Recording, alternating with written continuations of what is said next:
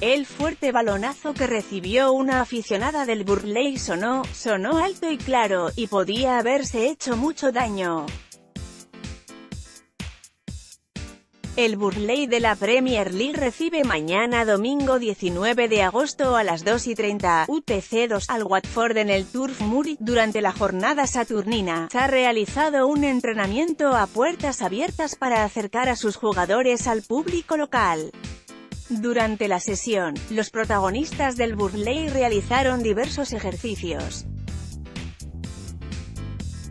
Uno de ellos consistía en ensayar el tiro a portería, cuando el balón superó el travesaño y se perdió alto para impactar fuertemente en la cabeza de una espectadora.